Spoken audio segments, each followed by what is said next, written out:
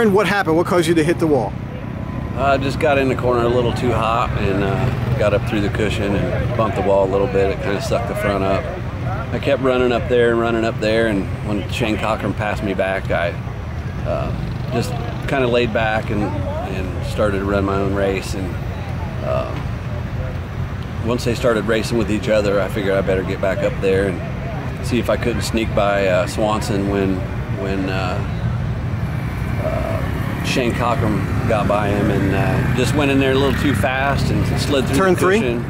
Yeah, into three. It was getting a little uh, thin up there, the cushion, a little dry. Um, but I had to keep at it. That's where I was the fastest, and I could keep up with them. And you know, when I wanted to, I could catch them.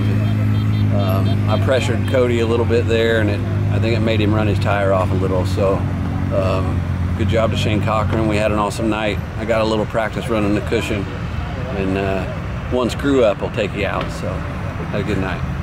I did see some sparks up there in the second turn. Yeah.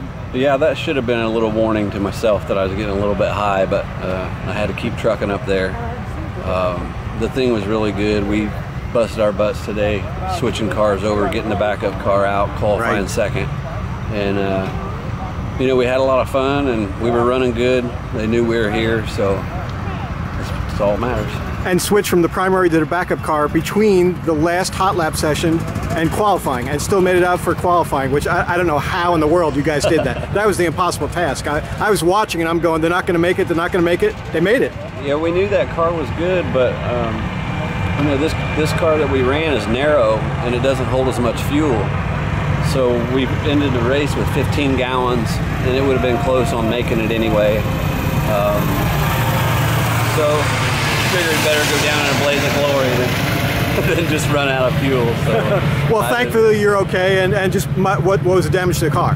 Um, it bent the Jacob's ladder and broke the right front combo arm. But um, you know, I got to thank my dad, Sam Pierce. Uh, without him, I couldn't do this. Sam Pierce Chevrolet and Evan Jackson and Rusty and everybody that helps us. Uh, you guys busted their butts today to get us back out on the track. And uh, the old backup car was good. Yes, it was. Thanks again, Aaron. All right, thank you.